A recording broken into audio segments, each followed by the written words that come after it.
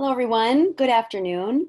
My name is Sunshine Menezes, and I'm very happy to have you join us today for Metcalf Institute's latest webinar, The Optimist's Telescope, a conversation with Bina Venkataraman. I am the executive director of Metcalf Institute, and I'm very pleased to have you join us today. Our speaker today is going to share insights from her book, The Optimist's Telescope, about how we can use long-term thinking to help us forge a better future. You'll hear Bina's full bio in a moment, but I'm proud to note that she is an alumna of Metcalf Institute's training for journalists and a former member of our advisory board.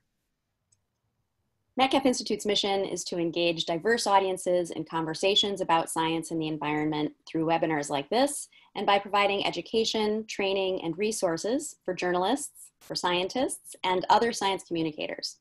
We would like to thank our donors for making this webinar possible. And I'd also like to note that we're presenting this webinar in partnership with the Institute at Brown for Environment and Society. IBES, as it's known, at Brown University, is a program that tackles urgent environmental challenges by harnessing academic excellence from many disciplines, climatology and sociology, ecology and international relations, finance, and artistic expression. I should note that Bina is also a Brown alum. Now I'm thrilled to introduce the moderator for today's discussion, and that is David Boardman. In addition to being another old friend of Metcalf Institutes, David is Dean of the Klein College of Media and Communication at Temple University in Philadelphia. He chairs the Reporters Committee for Freedom of the Press, the Lenfest Institute for Journalism, and the Solutions Journalism Network, and he serves on several other boards. He's quite busy, including the American Society of News Editors Foundation and the Fund for Investigative Journalism, among others. Previously, he was executive editor and senior vice president of the Seattle Times, the largest news organization in the Pacific Northwest. Under his leadership, the Times won four Pulitzer Prizes and produced 10 Pulitzer finalists. It was in this role that David first began working with Metcalf Institute as a juror and ultimately jury chair of the Grantham Prize. David has received many national awards for his journalism and leadership, including the National Ethics Award from the Society of Professional Journalists the Goldsmith Prize in Investigative Reporting from Harvard University, the Worth Bingham Prize in Investigative Reporting, the Investigative Reporters and Editors Award, and the Associated Press Managing Editors Public Service Award. I could say a lot more about David, but that would take up too much time. So for now, I'm happy to turn the conversation over to David Boardman to introduce today's speaker.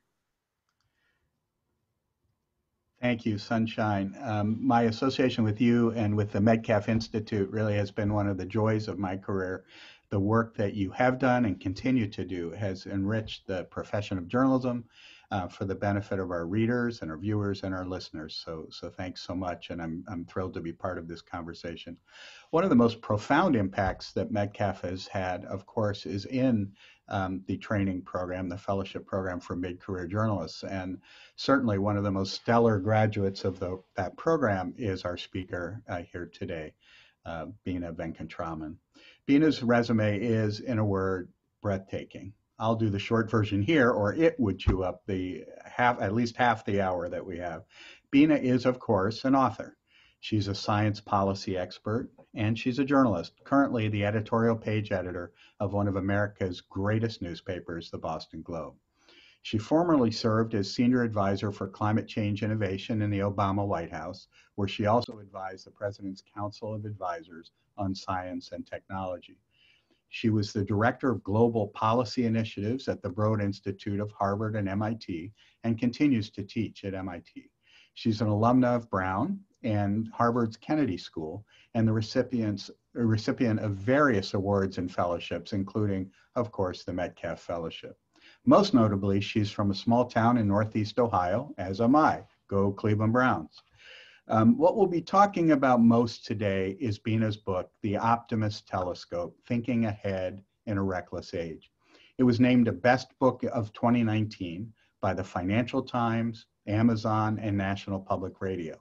It is, I can attest, a fascinating read that's become even more relevant and meaningful in the months since its publication. Heaven knows that after last night's televised debacle, or as Dana Bash on CNN called it, the SHIT show, we could certainly use some palate cleansing optimism today. Um, Bina will share some of the ideas she presents in her book and then I will start us off in a conversation in which you'll all be invited to participate. So please join me using the now popular Zoom wave in welcoming our esteemed speaker, Bina Venkataraman.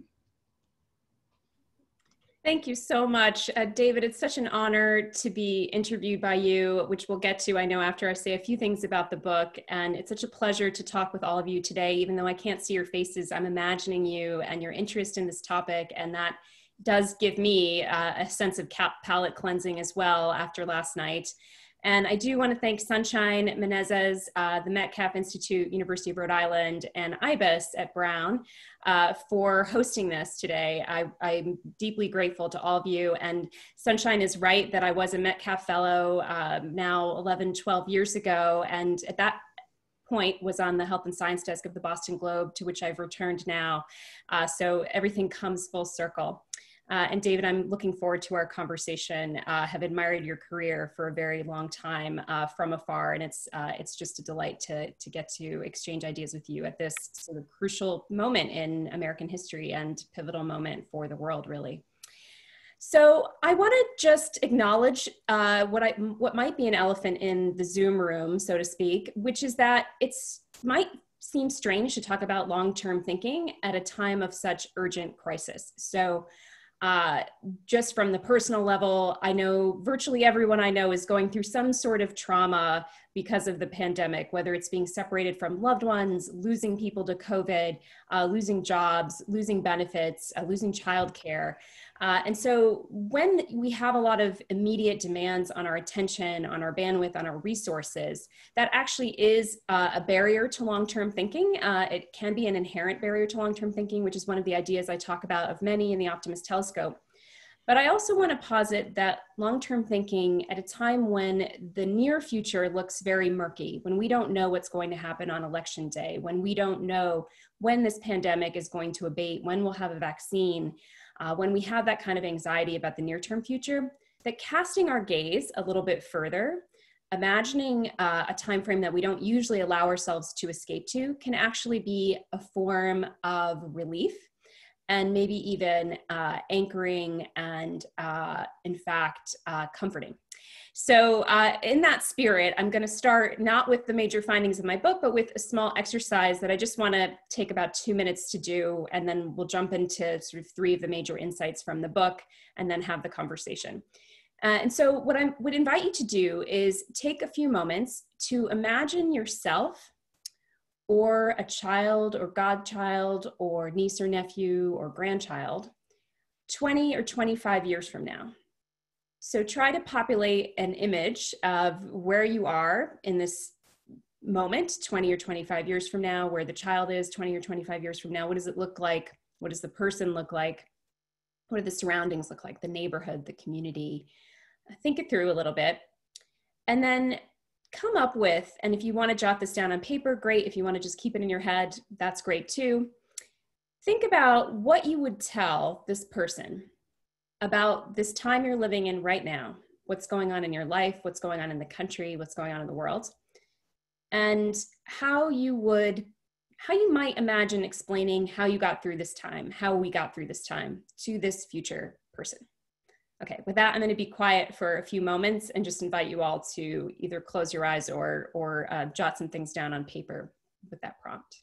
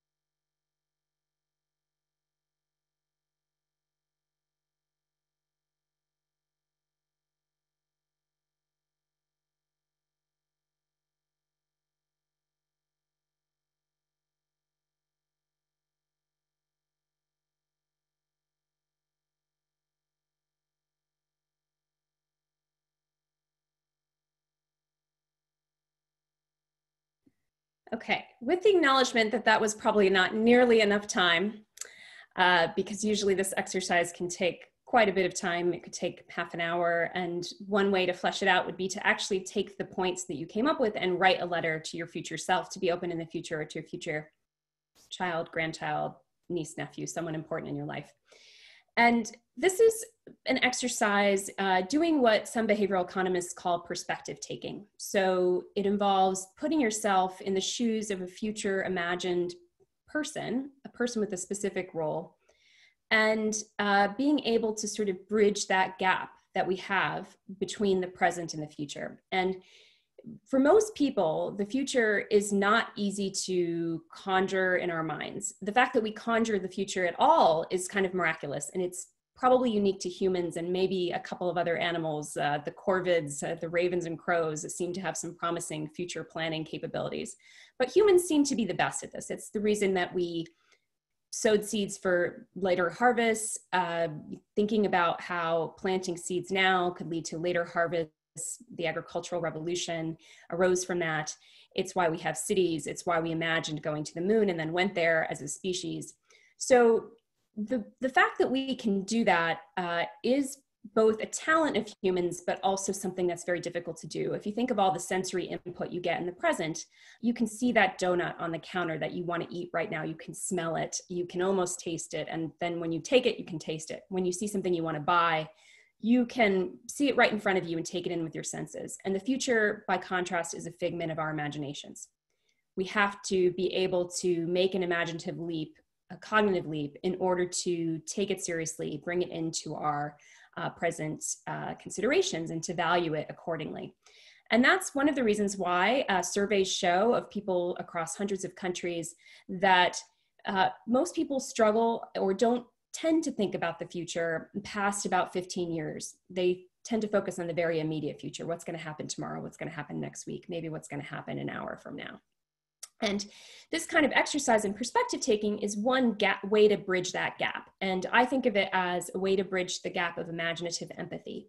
And this is important imaginative empathy, not just for uh, being able to think about your own future dreams and your future plans or how you want to be remembered by a future person you might write a letter to, but it's important for saving for the future. Can we imagine ourselves in retirement? Can we imagine ourselves down the road? It's important for companies. Can we imagine risks uh, that we might be taking now? Uh, can we imagine how they might play out for the company, not just in immediate profits, but in scenarios that could happen down the road? It's important for society. Can we imagine what it's like to not act in time on a pandemic, to not act in time on climate change? Or by contrast, to actually act to avert disaster. Can we imagine that reality? Bridging that gap of imaginative empathy is a lot easier when we can attach people to it. So this is just one of the exercises and ideas that I talk about in the Optimist Telescope, but it's sort of the driving force behind the book, which is how do we bridge the gap between our scientific knowledge about the future, predictions of the future, which are becoming more and more, more robust in certain arenas with all of our uh, sophisticated data science, uh, with our work of modeling. Uh, how do we bridge the gap of that between that knowledge of what we should and could do for our future, for our own future, and for our world's future, with the ability to make decisions in the present. And so that's kind of what drove me to write the book. And, and it, a major animating reason for that, of course, was my work on climate change in the Obama administration and the desire to see the science of climate change uh, be acted on by people in government, by people in communities, by our society, and by, by our governments as well. So I want to share with you for your own use in your life, for your own thinking, just three of the insights from the book, and then we'll move to the conversation uh, with David. And one of the major insights about how we do this, how we bridge this gap between uh, imagination of the future and what's right in front of us in the present, is to mind what we measure. One of the stories I tell in the book is about uh, communities in South India which were receiving lots of microfinance loans to ostensibly lift people out of poverty, lift women out of poverty, and therefore lift families out of generations of poverty. Well, the lenders were using a very um, meaningful metric for the short term, which was the loan repayment rate of these women, of the loans, uh, to decide that they were successful and that this industry was thriving and that people were being lifted out of poverty. It turned out that that rate, even though it was really high, about 97 to 99%, was masking bigger risks in the system Uh, women were taking out multiple loans just to pay off the formal lenders. Uh, women were uh, banded together in groups, shaming each other for falling back on their loans because the collective had to make up for the individual who fell back on their loans. And there was a major collapse, a bubble burst uh, of the microcredit industry in India in, in 2010. Uh, there was a rash of suicides among women vi- villagers. This is a very dire and dark story, but we see the way this plays out in our daily lives as well. Uh, when we focus just on what's in our inboxes, just on replying to those text messages, meeting immediate deadlines in the news industry, which David and I are, have been in, uh, we can often neglect those longer term uh, bigger opportunities to make a difference, whether that's a big project that's going to win you one of the ma- many prizes David has won as a journalist, or uh, a risk uh, like the financial collapse, the financial crisis that happened here in the US. The second insight I will share is to pick up the tools to think ahead. So in the Optimist Telescope, I write about a number of tools that bridge this gap between what we sense in the present and value in the present and what we can imagine in the future. I write about role play games that are used at the Pentagon that have, that have also been used to plan for uh, future earthquakes, future tsunamis, to help people really get a sense of what decisions they should make uh, in order to plan for disaster. I sh um, shared with you the idea of writing a letter to your future self. Uh, this is a behavioral economist named Trisha Shrum, who um, is at the University of Vermont, and her daughter Eleanor. Uh, Trisha and a colleague uh, started an initiative called Dear Tomorrow, where they invite uh, people to write letters to be opened in the year 2050 by children or by their future selves. And it's drawing on this research uh, that shows that taking the perspective of a future person can help people take more seriously the risks of climate change and commit to actions today that might actually change uh, that future for that future person that they're imagining. The third and final insight I want to share um, is to commit to a shared heirloom in order to bridge this imagination gap for the future. So many of us have heirlooms in our families. We have furniture. I have a, um, a special instrument I inherited from my great grandfather that sort of was the anchoring reason that I um, thought about this as a metaphor for what we need to do as a society more collectively uh, for our future. Uh, but we don't tend to think about heirlooms in a shared sense. And that is, I think, one of the most powerful ways that we can come together in society and collectives to act right by the future, to take seriously the future. It's very difficult to imagine people generations from now, what kind of clothes they're going to wear, what kind of technologies they're going to use. Think of the rapid change that's happened just in your lifetime. Um, I certainly didn't have a smartphone in my pocket when I was growing up. I remember dial up AOL from when I was in high school. Uh, but society has rapidly changed uh, because of technology, because of the way culture changes, because of our globalized world and the way that uh, we spread ideas. So it's difficult to imagine, say, people many generations down the line, but we can imagine, as you did when you thought about that person you were writing to 25 years from now, about a generation ahead. And that's the kind of thinking that we use when we give heirlooms. We think about the passing something to the next generation that the next generation can then, then steward to the subsequent generations. I'll give you an example of this from the book. Uh, I wrote about um, a group of eight communities in Western Mexico on the Baja uh, Peninsula where uh, they have come together and told a different kind of fish story. They have protected their lobster fishery uh, against overfishing over the course of decades now and did so by thinking of it as a resource and a way of life that they want to pass to each generation. Instead of overfishing it, they are protecting that lobster by measuring what they catch, by policing their, their fishery um, from intruders that might overfish the lobster, and really passing down that practice uh, to their sons and grandsons in this case. Uh, we have a very good example, a powerful example of a shared heirloom uh, in the US, which is our national park system. We in each generation create meaning for that park system when each generation goes to visit the Grand Canyon or Yosemite or Acadia. We, in that way, engage with the heirloom in each generation, but we also have a set of resources, funding, and we have a sort of governance structure. We have laws that protect these areas for each generation. And that's a way to, instead of say, let's bury a time capsule for the future and do something for the future, let's actually pass something on among us that is a, a, a form of a shared resource and something that we can do with far more resources than we do today. So I'm going to stop there just so we can have the conversation with David and, and we can actually answer some of your questions. But those are just a few of the ideas that I think are important from the book that I think can get us past um, past the sort of short term focus that I think dominates a lot of our lives. Oh, David, you're on mute. So we. Uh...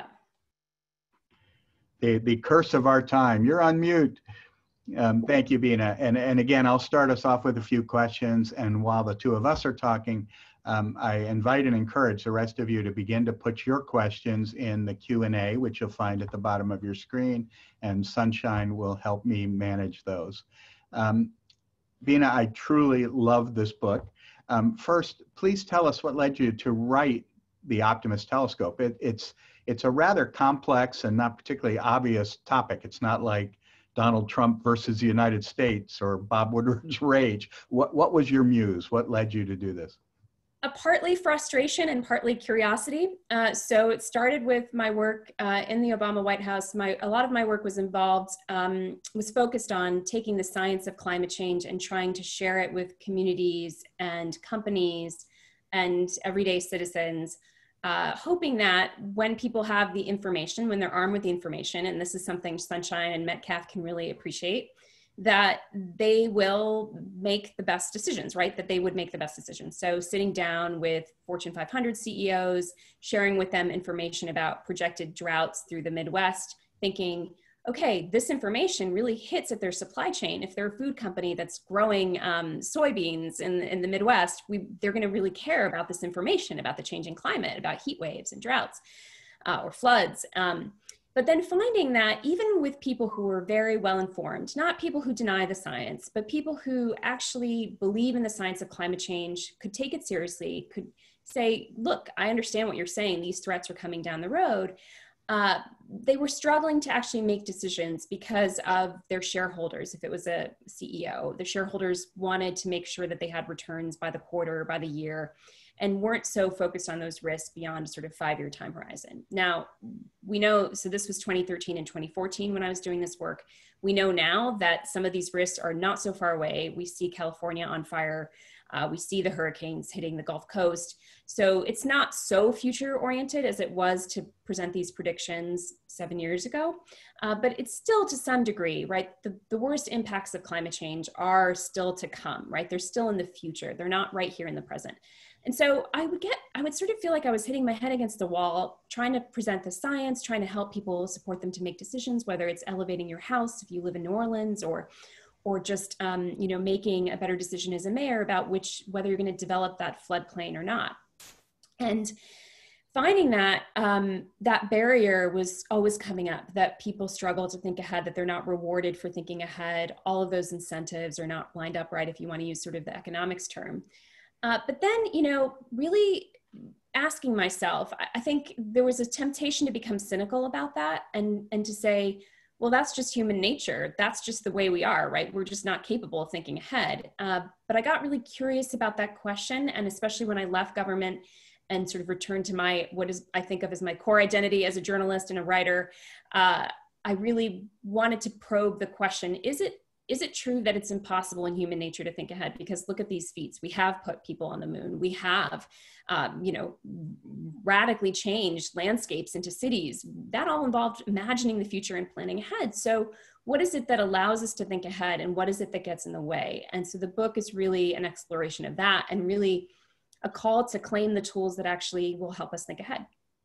So, uh, on that that uh, species uh, ability of what you call the superpower of mental time travel. You know, why why don't we use that capacity better more often? And I'm, I was really fascinated. Share what's been learned about that human capacity um, from the the old marshmallow tests that a lot of us are familiar with, and and the subsequent study of those toddlers as as they grew up, and and the cultural aspects too. I found really surprising. Right. Yeah, this was one of the the delicious findings of the book, um, if you will, since we're talking about marshmallows.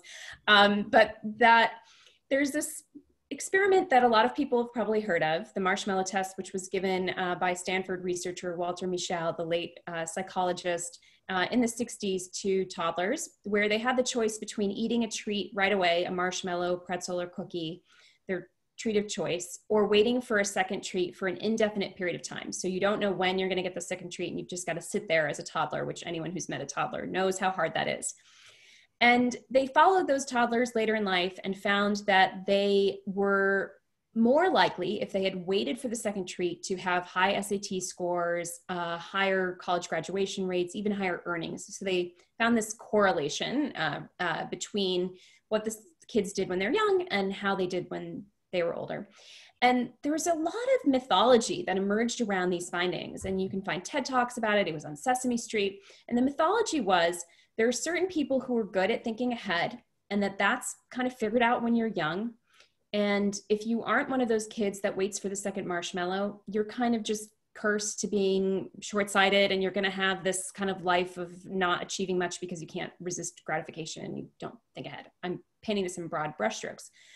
But the reality is that the studies that have been done that have tried to replicate the marshmallow test, and there have been hundreds of studies done by all different manner of psychologists. And Walter Mischel, even before he died, wrote a book really documenting that this was a much more complicated picture. It was not the case that people were just doomed or um, gifted with the talent of thinking ahead and waiting. Uh, that it was actually something that could be influenced by environment, it could be influenced by conditions, and even by culture. And so some of the surprising studies have shown, for example, that when you have a kid in a peer group where all the kids are wearing red t-shirts and you point to the kids wearing red t-shirts and the kid that you're going to put in the experiment is wearing a red t-shirt and you say to the kid, um, all the kids with the red t-shirt waited for the second marshmallow.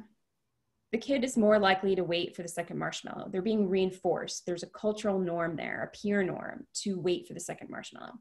Uh, you referenced the cultural differences. People will often say, well, it's great. It's a luxury to think ahead, that it's not something that people who are in poverty can do. It's not something that people um, who are too busy can do. And there's definitely truth to that. It becomes harder in scarcity to think ahead and value the future. If you're trying to put food on the table tonight, you don't have as much time to help your kids with their homework that's going to help them pass that test two weeks from now or a year from now. But uh, one of the surprising uh, instances of the marshmallow test uh, was when it was given to the kids of subsistence farmers in Cameroon who uh, consistently across hundreds of kids passed this test with a local treat called a puff puff. It's like a donut. Uh, they passed the test at much higher rates, like 70% of the kids waited for the second treat compared to German and American toddlers. It tends to be around 30 to 40% of kids who wait. And so there, it suggests a powerful role of culture uh, in delaying gratification, in valuing future rewards, and being able to imagine the future consequence uh, being better than what you can get in the here and now. And so I think there's a lot we can learn uh, from that research. It's not the whole story. It fits into a picture, though, of countless examples that I write about in the book and, and stories from how doctors prescribe antibiotics to um, how people plan for um, for floods that, that that it is possible to actually reinforce these norms. It is possible to create a culture within if it's your company or your nonprofit or your university classroom uh, or it's your peer group of friends uh, where you value the future more. And it might be as simple as you come together and you all write letters to your future selves um, you know once a month and you bring that into your practice and reinforce that because we know we're all getting reinforcement for the other the other way of doing things. So one of the things that i think is great about the book is i mean you really give not only a variety of examples but you you really equip us with some tools on on how to do this. And and in the context of the what you want now is a craving. What when we try to bring that to the future it's a much more cerebral exercise. And you you talk about um, some very low tech ways of doing that, like you just talked about with writing the letter, or had you, uh, as you had us close our eyes and envision at the beginning. You also talk about some technological tools that are that are emerging that will help us do this. So would would you speak to that? Sure. One of the ways that I probed this question was by going to the Stanford Virtual Reality Lab and uh, getting to experience uh, for one, swimming in a coral reef, a virtual coral reef uh, that was to simulate coral reefs in the year 2100 if the current trajectory of the oceans acidifying from carbon dioxide in the atmosphere that is making, um, as one report called it, the oceans hot, sour, and breathless. The, that trend uh, is going to bleach out and kill coral reefs if we don't change it. So I swam in a vibrant coral reef today in virtual reality, and then it flashed forward to the year 2100, and all the colorful fish disappeared. It was pretty sad. Uh, so studies that have been done by Jeremy Bailenson at Stanford have shown that when people swim in this virtual coral reef in present and future reality, this is, they sustain for longer concern over coral reefs uh, than people who watch a documentary about coral reef destruction or who read a paragraph about its destruction. And one of the insights here, I also looked at um, a study that, where people look at virtual reality avatars of themselves in older age. And so they can wave at themselves as if you're waving in a mirror at an aged version of yourself. And for people who are curious about this, there are apps that do this, but just a cautionary note, some of those apps, the data are harvested by uh, companies in or, or potential hackers in Russia. So just be careful if you are going to use one of these aging apps to check it out first. Uh, I used one called Aging Booth, which I don't think is one of those. Um, and I put, put in a, a flattering picture of myself and then I got to see an aged picture of myself. I think it was probably, you know, maybe 75, 80 years old or something, if you had to guess what age um, it spit out. And uh, the idea is again, that it's not enough just to give people information about the future. There is a way in which we need to have a visceral sensory experience of the future. We need to be able to imagine the future, even feel in our guts to take it as seriously as what we take in the present. And uh, these experiments in virtual reality, because they provide sensory input, um, they can actually make you feel something about the future that you might not feel in your gut uh, just by reading a report about um, the way the oceans are changing or just by being told you know you really ought to save for your retirement. And in that um, avatar experiment uh, that i referenced uh, where people college kids were looking at old age versions of themselves in virtual reality and waving back and forth and uh, it, sh- it was shown by in this study that hal Hershfield at ucla did that that those uh, young people who had that experience, that encounter with the older version of themselves, again, were more likely to express a willingness to save for their future. Thank you. Um, as you know, a major focus of the Metcalf Institute is how journalists can effectively report on climate change in a way that both gets people's attention and and and frankly alarms them to some degree, and at the same time um, leaves them feel feeling empowered and, and not just paralyzed. Um, in the context of your work, um, would you give us journalists some advice on how to do that more effectively, please?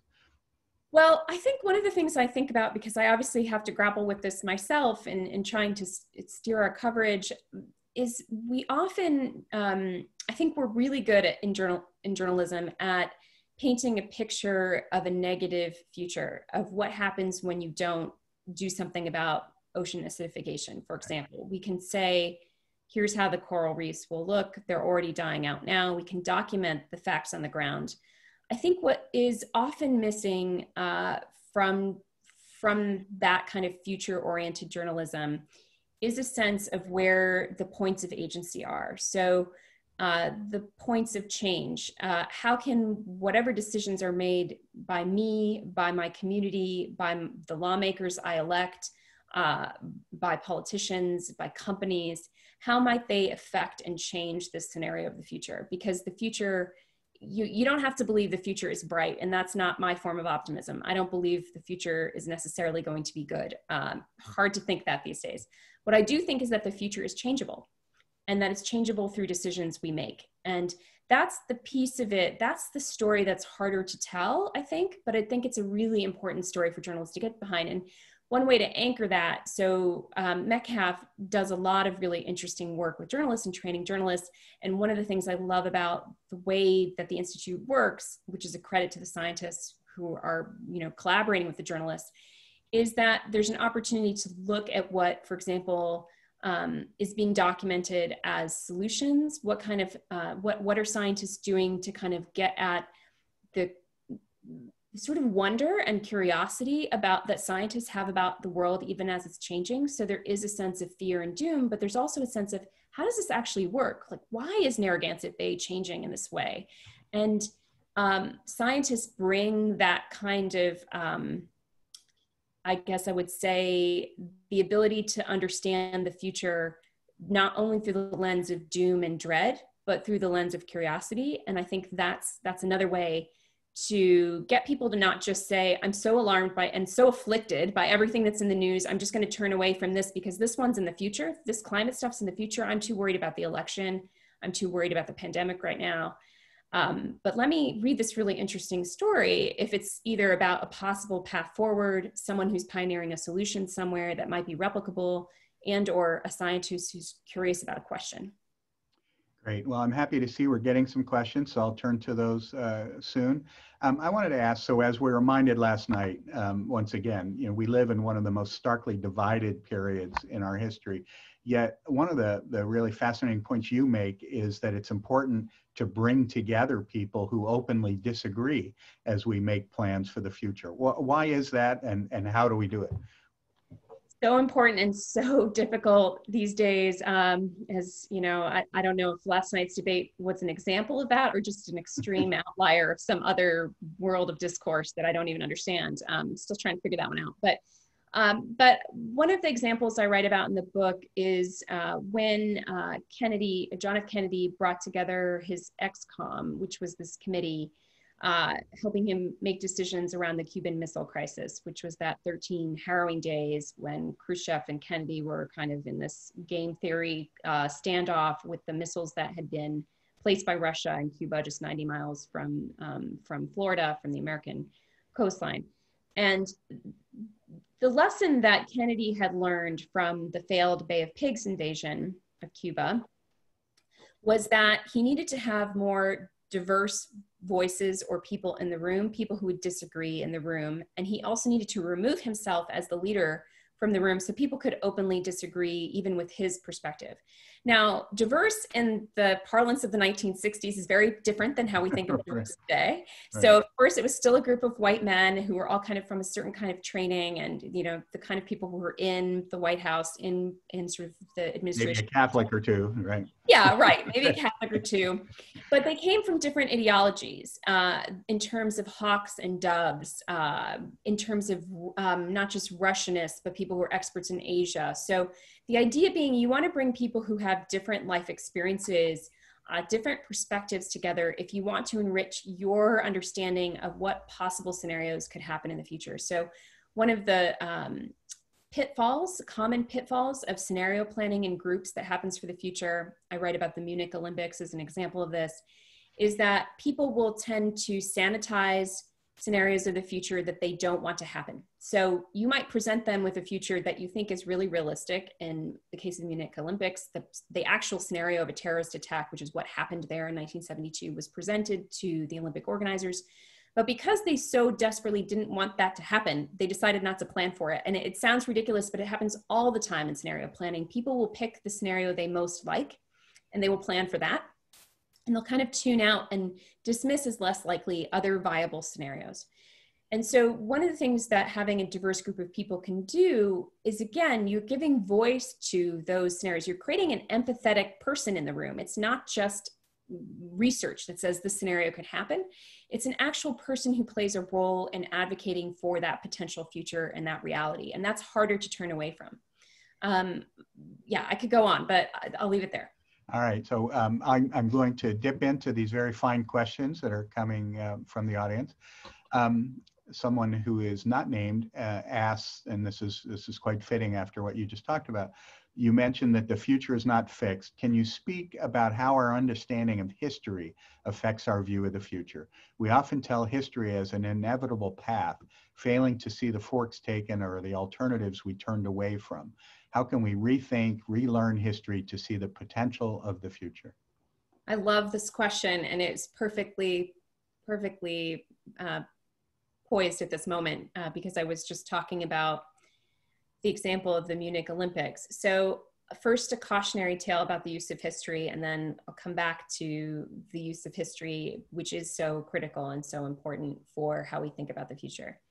So, the cautionary tale is that uh, one of the reasons that the Olympic organizers in Germany in 1972 dismissed uh, the very realistic scenario of the terrorist attack that was predicted for them by Georg Sieber, who was a police psychologist at the time advising them, was that there was this kind of trap from history, if you look back at how, how people were thinking at the time, that the last time that Germany had hosted the Olympic Games was in 1936 when Hitler presided over them. And there was this real desire to rebrand because that had been such a militaristic, morose Olympics, to rebrand the, the next German Olympic Games as cheerful. So they were literally called the Cheerful Carefree Games, Die Heiteren Spiele. Uh, um, and they had this, you know, uh, dachshund named Waldi, who was the like mascot of the games. And there was a real desire to keep military and police presence minimal. And so there was no security guards on the perimeter of the Olympic fence of the Olympic um, village, the fence that was protecting the athletes at night. And, and one of the reasons why the Israeli athletes were so easily targeted by people who just frankly climbed over the fence simply simply avoided some barbed wire and um, took hostage these athletes.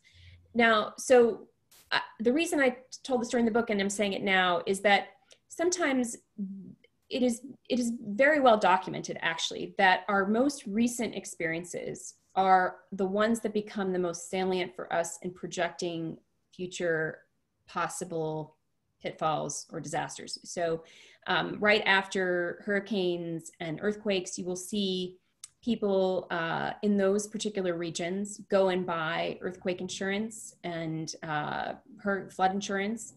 And then as time goes on, uh, this has happened in California recently. You see a lot of areas of California where people have basically decided, I don't need that earthquake insurance anymore because, you know, 1991 was the last time we had a big earthquake. And the reality is, as time goes on, the likelihood of a bigger, more catastrophic disaster is actually going up, not going down. But because it isn't recent in memory, people will uh, abandon those plans. By contrast, they'll sometimes overinsure for the most recent disaster that they've experienced, or they'll overcompensate for whatever that recent memory, uh, salient memory is. So, so that's the cautionary tale, and and the upshot, the sort of way we need to use history, um, is is that it's another form of providing a more diverse range of scenarios and more enriched sense of what's possible in the future. So, uh, one of the stories I tell in the book and in this TED talk I was lucky enough to give last year, um, which feels like it was in an alternate reality because it was in a room full of all these people, um, as opposed to this nice, um, intimate conversation on Zoom. And um, it was uh, about this civil engineer who um, was responsible for the nuclear power station in Onagawa, Japan. Uh, so Onagawa, for those who don't know, uh, when the 2011 Tohoku earthquake and tsunami struck Japan, uh, was uh, um, very affected. It was closer to the epicenter of the earthquake, um, the city itself. But the nuclear power plant there, unlike the nuclear power plant in Fukushima, uh, was uh, untouched. The gym was actually a place of refuge for people in Onagawa. They fled to the gym during the disaster. And one of the reasons that Onagawa's nuclear power station was so much more safe, despite being closer to the epicenter of the earthquake versus to Fukushima Daiichi, which we know that nuclear power plant flooded, the seawall was breached, um, there was meltdown of three reactors. The reason that Onagawa was safer is that it had been built further back from the coast at a higher elevation and with a higher seawall than was originally proposed and also then Fukushima. And the engineer behind pushing for that, uh, his name was Yanosuke Hirai, and his rationale at the time was that he knew the story of the Jogan earthquake of the year 869. So talk about reaching back into history uh, uh, by millennia. And and it had that story of the flood of his hometown shrine had stayed with him. And he carried that story and he thought about uh, potential for a tsunami to come and flood this nuclear power plant. So he didn't get to live he didn't live to see what happened. It would have been great to interview him and ask him kind of what he thought and how what his reaction was to seeing you know that this nuclear power station actually became a haven uh, but it's again, it's having this long range of history, whereas the models that were used, the sophisticated data driven models that were used to uh, calculate risks that could uh, happen for TEPCO, the company that owned Fukushima, those models didn't look back far enough. They didn't look back far enough to account for a sort of one in thousand year event. At the same time, I mean, we have lots of examples, and you touch on this in the book too, of, of people just repeatedly ignoring the near-term past and, and particularly building in floodplains, which they continue to do again and again and again in the southeast. What, where does policy come into that, and you know, how do we disincentivize that sort of thing? Yeah, so this is really important because uh, it can, people there are some people who um, can get confused by the all the i try to give people things they can do in their lives because i think it's important that we do those things. There it's all important and it's self it's reinforcing if we have government take the right actions for the future and if we take the right actions. And it works in a virtuous cycle. But it's not the case that you know you can control everything right? Like you know how do how do i control if um, the city of New Orleans decides it wants to rebuild back in those same most vulnerable floodplains or areas. Uh, so, so yes, we need government to exercise the right kind of foresight. Um, I call, you know, this collective set of tools, you know, tools for foresight, not forecasting, but actually the judgment to make good decisions about the future. And and so the question is, how do you get them to do that right like how do we how do we actually do that and and part of it is um, some of these tools of uh, better kinds of scenario planning that bring more empathy into the room need to come into all levels of government so a lot of municipal governments make these decisions about whether to develop in floodplains or not i tell the story of richland county in south carolina and its decision not to develop in a high risk floodplain, which was a huge acrimonious battle basically for the soul of this community. And it pitted people against each other, but it also created all these strange bedfellows. Speaking of people who disagree coming together, you had Republican hunters coming together with environmentalists and sort of city planner types who were very nervous to basically form a political alliance to prevent this reckless development in a floodplain. And i think that can be really powerful as well right? Like you need diverse coalitions not just for getting ideas of what could happen in the future but actually for being able to get the political will to do the right thing. And so um, one of the insights here is that we need to do better at holding our politicians accountable not just for what they're fixing for me right now right here but for their record. And journalists have a strong role to play in this reminding people of what the outcome has been. And and even just to think about this current election you know you're um, you know in the process of, of our endorsement uh, uh, for the presidency thinking about you know well on what time horizon does policy play off when you have job growth uh, usually that's the result of previous years previous years of economic policy right so people need to have that understanding and i think journalists can be focused a lot on the incremental sort of what did the president say today what's the latest tweet. Uh, we also have to do our job at helping bring context to citizens, helping bring context to voters about what politicians' past actions have done, both for good and bad. Um, we have a question from Jeff Colgan. He says, on climate change, we are not just trying to imagine the future, but also sorting out the alternative explanations for what's happening, like the president's quote, forest management explanation for California's fire. Do you have any ideas how policymakers can bat down those flawed alternative narratives? That alternative narratives is such a good way to put that. I actually am going to make you answer this one too, David, because I'm I'm interested in your response to this. Uh, I would, uh, my sort of brief response is knowing this is complicated because we have platforms like Facebook that propagate alternative narratives, right? We have conspiracy theorists, we have all kinds of things going on but that it's really important just for leaders in all kinds of spheres in cultural leadership and um, you know everything from hollywood to politics to be reaffirming the narratives that actually align with the facts right what aligns with the science and to kind of keep coming back to that and helping people understand it i think there's a little bit of a danger in giving too much oxygen to those alternative narratives. I know it's hard when the president of the United States is actually repeating them, then we have to take them head on. But you know, sort of not assuming that there's a larger contingency for them than than there actually is, right? There's a lot of people, the vast majority of Americans believe climate change is real, believe it's human caused, and believe it's a problem. So we actually have, right, a good critical mass. We also have an electoral college and we have other kinds of problems in our politics that get in the way of acting on that. But we, it's not the case that most Americans, I think, believe this, you know, that we need to broom out the California forests. Um, I'm I'm going to uh, cede my time because um, oh, we no. have a question. We have a question here from one of my journalistic heroes and probably one of yours as well, um, Bob Semple, um, the the esteemed former New York Times uh, editorialist and and um, who um, also served with me for many years on the Grantham Prize jury.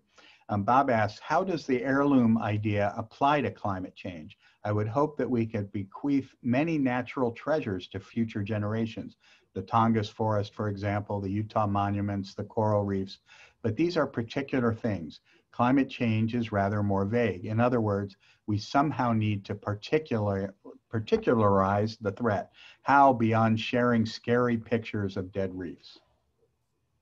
Great. Hi, Bob. And yes, you're right. I do I have share the admiration. Um, thanks for the question. It is like the million dollar question. Uh, I think one of the ways I think about this is so you could, right, as a metaphor, you could think of the atmosphere or the oceans, these sort of broader resources as shared heirlooms. And you could say, we owe this to the next generation to keep them in at least as good of condition as we have now. There are legal theorists who talk about nature's trust. So thinking of it as the principle, you don't want to you know erode the principle or the endowment you can take things that are sort of uh, the returns but not kind of damage that fundamental principle that ought to be passed on to future generations. And i think obviously we're with what we're doing to the climate we're far from that. So it's for some people for maybe some financial thinkers and others that might make sense. But i think you're absolutely right that the sense of place is what allows a lot of these heirlooms to actually uh, have meaning for people because you can't while we all breathe in the air and we all see the atmosphere to, to an extent we don't really see it. We see the light. Uh, but we, we, we kind of experience it in one way. We experience the climate. We experience the disasters.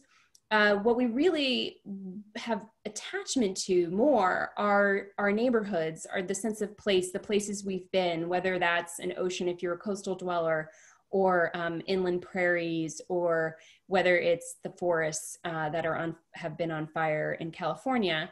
And so I do think it is about connecting that part of caring for those heirlooms, right? Like everyone needs to establish what those heirlooms are within their sense of place and community and cultural history, how they're affected, drawing the connection between that and how protecting the climate protects those heirlooms. And how we do that, I think, is still very much an open question. I think, but looking at it less as um, sort of a resource we have the right to exploit and more as something that we are indeed passing along, I think tilts the lens there a little bit, right? It's not it's not even our right to destroy this, right? It is actually something that we're supposed to be. If we think of ourselves more as ancestors and descendants, we're supposed to be passing along. And I don't know how many people that will work for, but uh, but I do think um, it provides a way of thinking about this that doesn't doesn't make you responsible for everything that happens for all time, but at least makes you responsible to the next generation. Um, so before us at this very moment are these examples, just stark examples of this tension between thinking for the present and thinking for the future. Climate change, which we've talked about, um, the coronavirus, um, and in many ways, I think Donald J. Trump. Um, but let, let's take let's take the coronavirus, and, and if you would give us a vision of that through the Optimist telescope. Sure. So I'm not sure how much optimism will be involved here, but I will get to that. I'll get to a little bit of my own source of what's changeable about the future. Again, that form of optimism that I embrace. Um, so I think the the book clearly, you know, my I made this diagnosis of why we fail to think ahead, how we fail to think ahead. And then, you know, the book came out in August 2019, and then we had this sort of poignant uh, unfolding of this situation in society that, you know, it's like feeling like Cassandra or something. It's like, can, can we, people have just uh, thought ahead, we would be in a very different situation because we know that acting early in a pandemic is everything because it grows exponentially, it spreads exponentially. So that, that those initial clusters in any country, in any given country in the world, uh, mattered a lot, and containing it and educating people, testing people early on, all of that mattered a lot. And so it's been, you know, to see the political response to this from the view of the Optimist telescope has just reinforced all of the failure modes that happen, all of the breaking points we have as a society, all the breaking points our political leaders have had when it comes to thinking ahead. And you can very clearly even map them on to some of the the recommendations in the book. So when you're measuring yourself by the near-term stock market returns, as the president was, he didn't want to test people because he didn't want the numbers to go up. He didn't want the number to look bad in the near term, which is the near-term metric. He didn't want the stock market to go down. Uh, those near-term metrics, right, include a view of like what's the actual value, right? Like what's the actual damage to the economy that's going to come from this? What's the loss of lives we're actually going to experience? Uh, those are more meaningful measures, right? The president is using the wrong measures for his own political purposes at that stage of the pandemic. Um, and so I'm, I'm, taking this a very political way, but it's hard not to when you think about the pandemic response from an American perspective. Uh, so, so I think from that point of view, the diagnoses of problems of why we fail to think ahead, right? So the failure points that was reinforced by the pandemic. Uh, but in terms of sort of how do we get ourselves out of this? How do we, where do we go from here? Uh, how do we act better for the next one? I think there's so many opportunities. If you think about the the lack of mem- uh, memorials to the 1918 flu pandemic, in part because it was, you know, this interwar period, uh, in part because it's hard to memorialize illness and, you know, contagion. Uh, but that really wasn't something that was marked in memory the way that there were, uh, frankly, markers of tsunamis in Japan that proved instructive for certain towns that acted wisely when it came to the tsunami of 2011. We, we could do better at, at really having more historical markers of what this time has meant.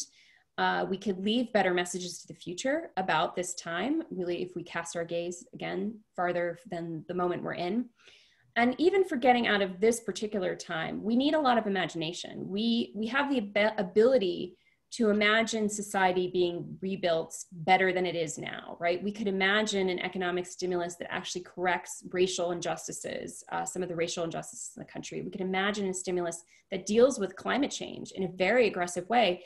That scale of stimulus wasn't fathomable uh, in late 2019 when I was writing this book. People, politicians were not talking about that. And now there are trillion dollar packages being discussed. And certainly, depending on what happens in November, there'll be the opportunity to really remake parts of the economy because of how bad this has gotten.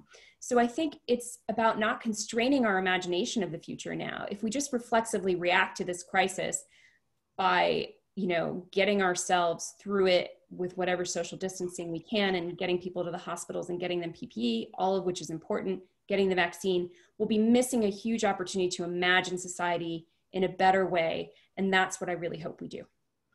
Yeah, I, and and I would just add, and I guess this is a, another definition of optimism. But when I when I look at the events of the last six months, it's clear that the racial and social reckoning that we are going through, which I think many of us would would uh, agree is ultimately a good thing, probably would not have happened except for the COVID-19 crisis, or certainly not in this timing. And so that that's another way to look through the telescope and, and to think about how events, one set of events affects another set of events. Well, this has been fascinating. Again, I cannot recommend the book highly enough. And I can also recommend the audio version of it, which is how I read about half of it as I was driving up to Boston last weekend. So, um, must be so tired of my voice, David. um, anyway, thank you all so much for being here. Thank you, Bina, and I'll hand back to Sunshine. Thank you so much for this, and thank you, David. Thank you both, um, Bina, for sharing your thoughts, especially at a moment when long term planning is essential but so often dangerously overlooked. And thank you, David, for leading this discussion so beautifully. It's really a treat to be able to spend time with two of my favorite people, even though we're looking at each other through little boxes.